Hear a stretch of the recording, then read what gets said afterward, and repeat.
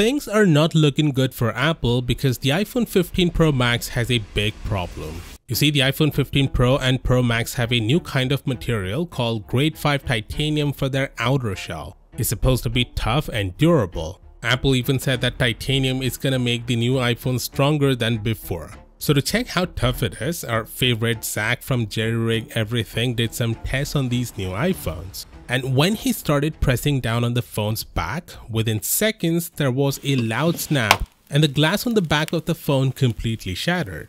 Zack has been doing these tests for over a decade and rarely do we see a phone break like this without putting much effort. In fact, it's the first iPhone that failed to pass its durability test except for this foldable phone from Apple launched in 2014. Now, a rational human being would look at his test and say Apple messed up with the durability of the new 15 Pros. And if they own one, they might exercise extra caution and consider using a protective case for added safety. But Apple fans, or should I call them Apple apologists, are built different. They are saying if you don't want to break your phone, just don't bend it.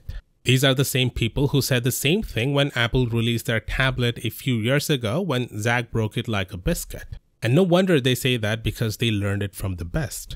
Look, I agree no one in the real world would go on and bend their phones like that, but the reason this is an issue is because of how easily Zack was able to break the glass. Other phones don't break so easily. Even foldable phones survive his bend tests. But this phone is the only iPhone that didn't. And it's an issue because say if you accidentally sit on your phone even for a split second, then the chances of the glass breaking are way higher than in previous years and would cost you hundreds of dollars to replace it.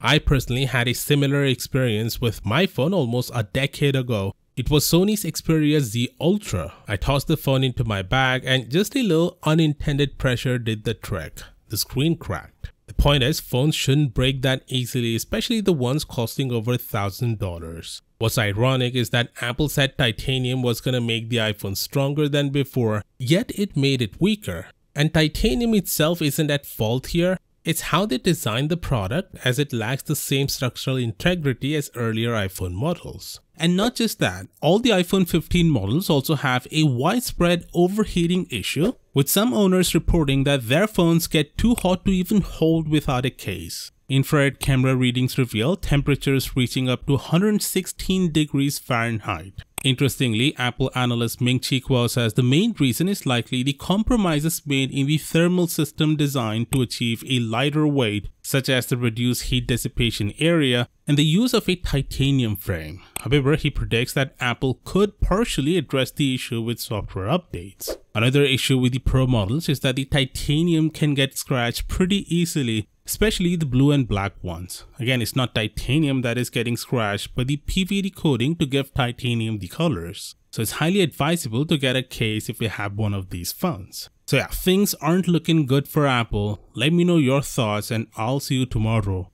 Peace out.